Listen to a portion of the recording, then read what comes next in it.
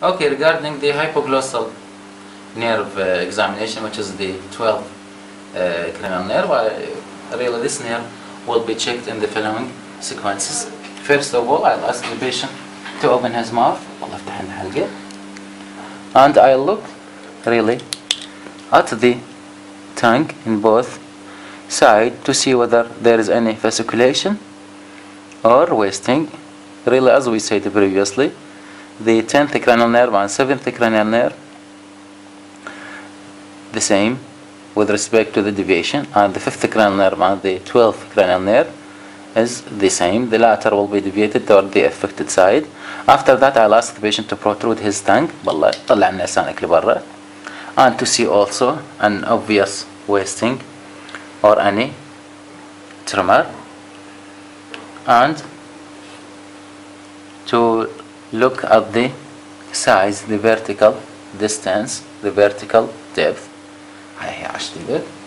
After that really, we will check the bulk of the muscle via the following maneuver. هسه من داخل حلقك بلسانك وتضغط أصابعي عشت إيدك هنا عشت إيدك هاي Really why this uh, test this test the bulk of the muscle and the strength of the uh, muscle of the tongue. Really, when we have just one lesion, one side affected, there will be unlikely to be an upper motor neural lesion. It is most likely lower motor neural lesion, so there will be wasting and fasciculation, and this will be obvious. When we have when they are bilaterally affected, which is common, especially due to bulbar palsy or pseudobulbar palsy, when they are uh, bilateral affected due to upper motor neuron lesion. This condition may occur in cerebral palsy, and we will see that the vertical depth of the tongue will be increased.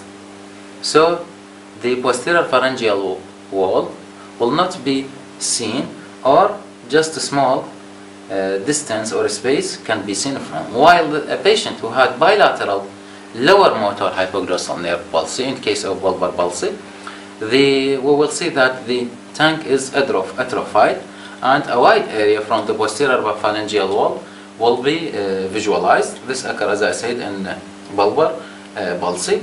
And uh, really, the term uh, pseudobulbar palsy and uh, bulbar palsy is very important to be uh, contrasted and notified, which uh, means that the lower cranial nerve, especially the 9th, 10th, uh, 11th and uh, 12th are bilaterally affected if the process is that of lower motor neural lesion.